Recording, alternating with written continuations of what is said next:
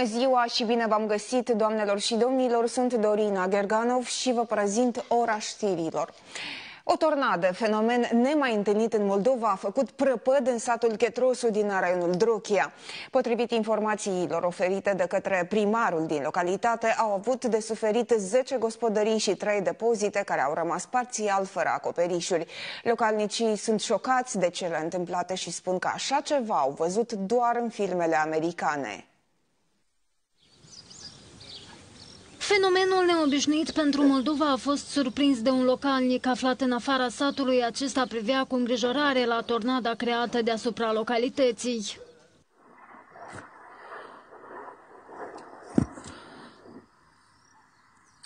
Tornado. Che trosul raionul droche. Și grește, fără măcasul, ia ce se face acolo. Ei, da. Ia uite, ia ce se face pe sat, ia uite. Ia ce se face pe sat. În calea vântului puternic au fost mai multe case și depozite din sat. Și duci la casa mea. Ia plăvi pe nogradul meu.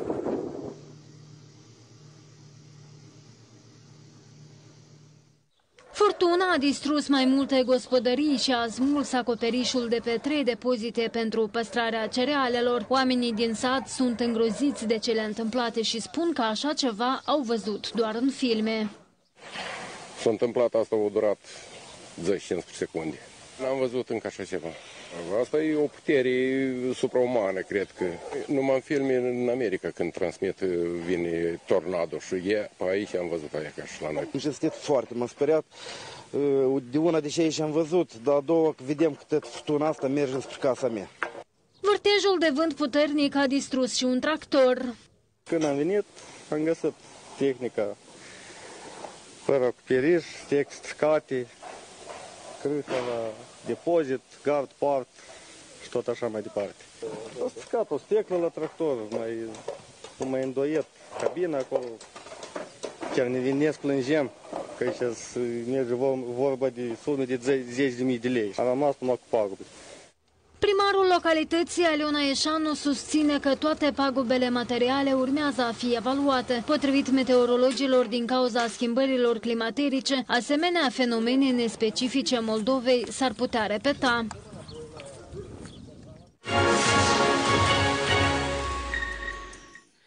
Soarta secțiilor de votare din diasporă va fi decisă mâine. Curtea Supremă de Justiție va examina recursul Comisiei Electorale Centrale, care a fost obligată de către Curtea de Apel Chișinău să majoreze până la cel puțin 190 numărul secțiilor de votare peste hotare. Se întâmplă după ce vineri CEC a discutat subiectul cu Ministerul de Externe, dar nu s-au putut înțelege. După șapte ședințe de judecată și un șir de recuzări ale judecătorilor, Curtea de Apel a obligat obligat autoritatea electorală să-și revizuiască decizia și să deschide peste hotare 190 de secții și nu 146, așa cum a stabilit anterior. Membrii CEC susțin că acestea pot fi deschise cu cel puțin 35 de zile până la data alegerilor, iar acest termen a fost depășit și nu există o claritate cât privește disponibilitatea țărilor străine de a permite deschiderea unor noi secții. De asemenea, nu se știe din ce bani vor fi operate modificările, deoarece guvernul a alocat doar 70 din cele 125 de milioane de lei necesare pentru scrutin. Plecările din rândul Partidului Democrat continuă și în campanie electorală. Patru primari de sate și un consilier din raionul Rișcan au anunțat că părăsesc formațiunea condusă de Pavel Filip. Aleșii locali au semnat o declarație comună prin care susțin că sunt dezamăgiți de acțiunile liderului PDM care au dus la distrugerea formațiunii. Semnatarii spun că au fost mințiți și că toate acțiunile și deciziile de partid sunt adoptate de un grup restrâns condus de fostul premier și apropiații săi. De cealaltă parte, Pavel Filip susține că unul dintre primari va rămâne în echipa PDM, iar doi ar fi fost dați afară din partid încă acum un an. Un alt ales local ar fi semnat declarația de părăsire a partidului, fiind amenințat de fostul democrat Eugeniu Nichiforciuc, acesta din urmă falsificând semnătura celui de-al cincilea funcționar, afirmă Filip. Eugeniu Nichiforciuc a negat acuzațiile și l-a îndemnat pe Pavel Filip să se apuce de lucru. Fiindcă este un lider slab.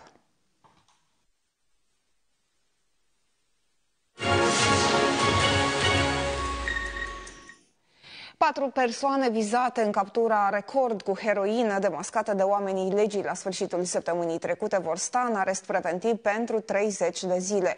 Este vorba de doi moldoveni și doi cetățeni de origine turcă. Decizia a fost luată de judecătoria Chișinău cu sediul la Ciocana la solicitarea procurorilor. Ieri magistrații au eliberat mandate de arestare pe numele a altor trei persoane vizate în acest caz. Amintim că poliția a depistat o captură de stupefiante stupefiante și a anihilat un grup infracțional internațional. Autoritățile nu au dezvăluit însă identitatea traficanților și nici cantitatea de droguri confiscate. Surse apropiate anchetei spun că ar fi vorba despre o cantitate de peste 200 de kilograme de heroină. Un bărbat care a mers la prins pește la un lac privat din arenul Călăraș s-ar fi împușcat mortal din greșeală. Acesta a intrat în conflict cu paznicul iazului, care nu i-ar fi permis să pescuiască. Victima a scos o armă pe care o avea în căruța cu care a venit și a vrut să sperie paznicul, spune poliția. Din neatenție însă ar fi apăsat pe trăgaci și a efectuat o împușcătură involuntară în direcția sa, rănindu-se în abdomen. Oamenii legii susțin că bărbatul deține arma ilegal. Bărbatul a decedat până la sosirea medicilor. Pe acest caz a fost inițiată o anchetă pentru stabilirea tuturor circumstanțelor.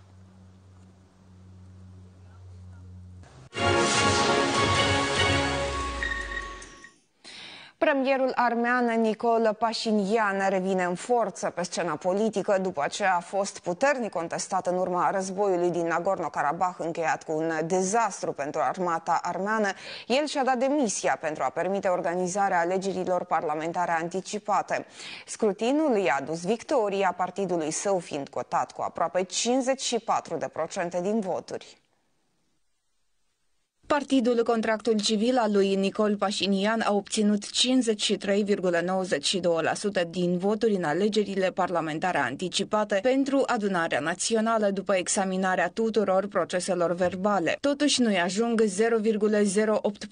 pentru a forma singur un guvern, scrie presa străină. Pe locul 2 se clasează blocul Armeniei al fostului președinte Robert Kociarian cu puțin peste 21% din sufragii, iar pe 3 se poziționează blocul a amonoare al unui alt ex-șef de stat, Serge Sargisian, care a obținut 5,23% din voturi. Cu toate acestea, mulți observatori se tem că ar putea izbucni proteste și chiar tulburări după o campanie electorală vehementă care a polarizat societatea armană la câteva luni după o grea înfrângere militară în fața Azerbaijanului. Fără a aștepta rezultatele complete, alianța electorală a lui Kociarian a denunțat falsificări planificate și a cerut o anchetă asupra presupusă supuselor fraude. În pofida acuzațiilor opoziției, CEC asigură că alegerile s-au desfășurat în conformitate cu legea. Aproximativ 2,6 milioane de armeni au fost chemați la urnă pentru a alege cel puțin 101 deputați pentru 5 ani. La 11 mai, în Armenia a fost dizolvat Parlamentul și au fost anunțate alegeri anticipate după ce premierul Nicol Pașinian și-a dat demisia.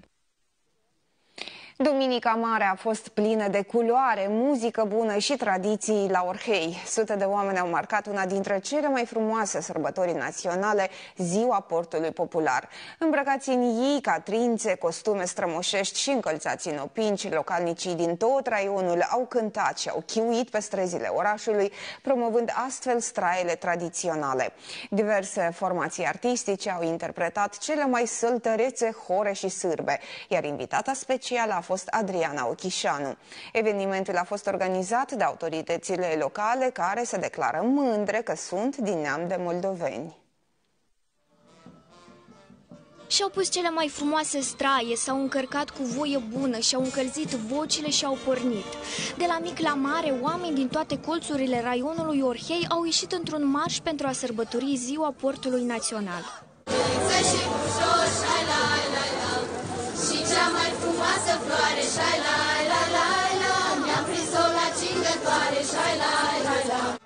Sunetul instrumentelor și vocile armonioase ale oamenilor practic au inundat străzile orașului, iar participanții la Marea Sărbătoare ne-au spus că hainele pe care le poartă îi fac să se simtă demni că se trag din viță de moldoveni.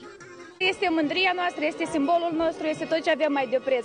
Suntem mândri că suntem orhieni. Este ca o valoare strămoșească care trebuie să o respectăm și să avem foarte mare demnitate și respect față de ea. Reprezentanții fiecărei localități din raion au ținut să se evidențieze din mulțime.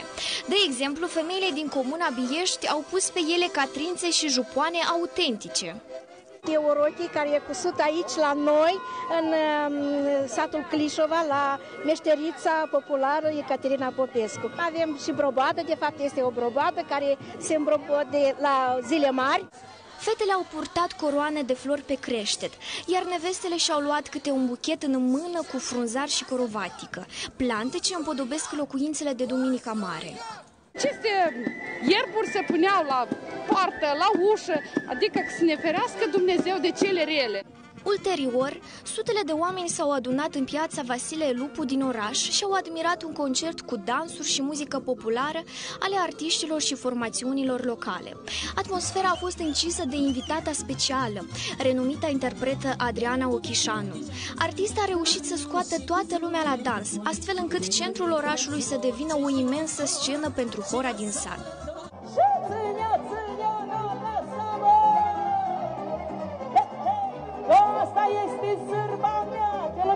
chiuie. De mult n-am văzut așa sărbătoare frumoasă. Uh, o plăcere și o bucurie am primit să văd uh, atâta lume îmbrăcată în strai populare, purtând straiul popular și purtând ea, suntem mereu la modă.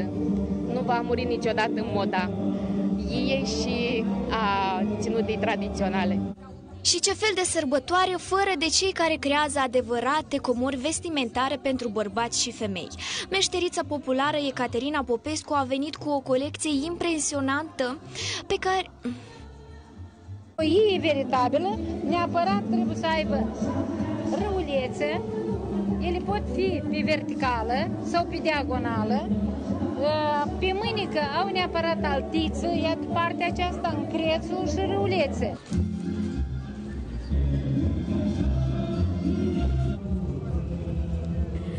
Timpul nostru purtarea portului național poate fi o provocare pentru tineri.